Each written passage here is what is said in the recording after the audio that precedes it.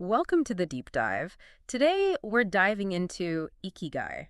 Have you heard of it? I have. It's everywhere these days. It is. It's like everyone's suddenly an expert on this Japanese secret to a long and happy life. Right. But we're taking a deeper look here today. We've got a great book review of Ikigai, the Japanese secret to a long and happy life. Really gets into the nitty gritty. I'm intrigued. What's the review say? Does it live up to the hype? Well, the reviewer starts with this anecdote about a former colleague asking them about their own Ikigai. Oh, interesting. Yeah, and it got them thinking, like, you know, like, what is it about this concept that sparks such introspection, even in people who are already pretty familiar with Japanese culture? It's true. There's something about this idea of ikigai that just resonates. It's like this universal search for purpose. Exactly. And the book itself goes deep into Okinawa, Japan, you know, the island with all the centenarians. Oh, yeah, yeah. I've heard of that. So they actually interviewed these centenarians to understand, like, what's their secret.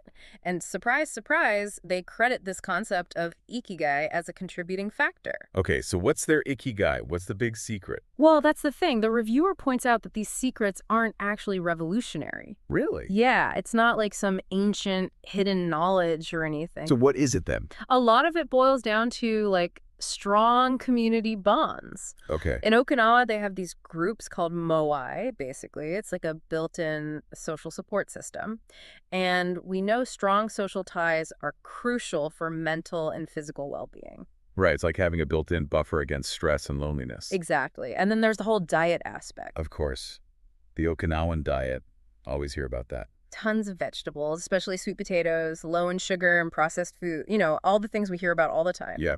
Pretty standard healthy living advice. Right. It's interesting because it's like they're rediscovering common sense, you know? Yeah. Sometimes I think we need that reminder, though. Life gets so chaotic we forget the basics. That's so true. It's easy to get caught up in the day-to-day and forget about those foundational things that actually contribute to a long and happy life. Totally.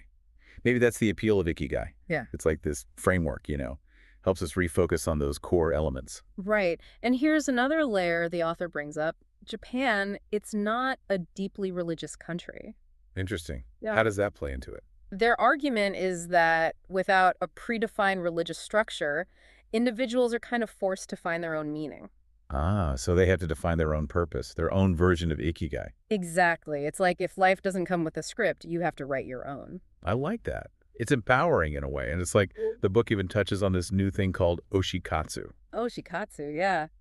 This is so interesting to me. It's like finding your purpose, but in a very specific way. It is. It's about finding that purpose through like passionate support of something or someone you admire. Right, like musicians or artists or even fictional characters. Exactly.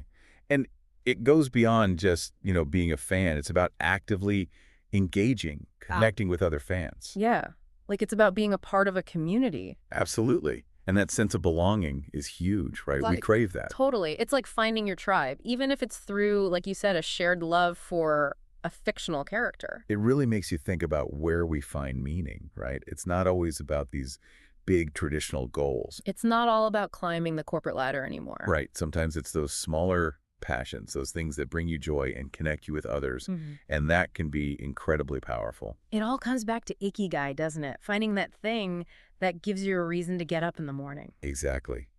And that looks different for everyone, of course. For some people, it's about their career.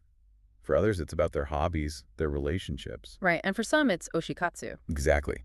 It's about finding what lights you up. I love that. Okay, so the reviewer also pulled out some quotes from the book that I wanted to mention. Oh, I love a good quote. What did they pick out? Okay, so this one really stuck with me. It says, Life is not a problem to be solved. Just remember to have something that keeps you busy doing what you love while being surrounded by the people who love you. Wow. It's so simple, but so powerful, right? I know. It's like we get so caught up in the problem solving part of life that we forget to just live. We're always striving, always looking for the next thing, the next accomplishment. And it's true, we're always looking ahead to the next thing instead of just appreciating where we are right now. I know. It's like we forget to enjoy the journey. Exactly. But this quote, it's like a little reminder, you know. Just find something you love, surround yourself with people you love, and just live. And that's enough. It really makes you think, is Ikigai really some big secret?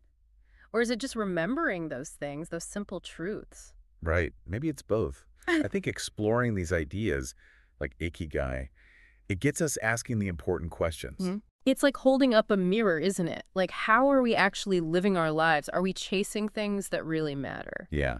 Are we truly passionate about what we're doing? Or are we just going through the motions? That's the question, isn't it? And maybe that's what we should all take away from this deep dive Ikigai. It's not like this magic formula, it's personal. It is. It's about discovering what makes you tick, what brings you joy, what makes you feel alive, and finding a way to make those things a part of your life. It's about designing a life you love. Exactly.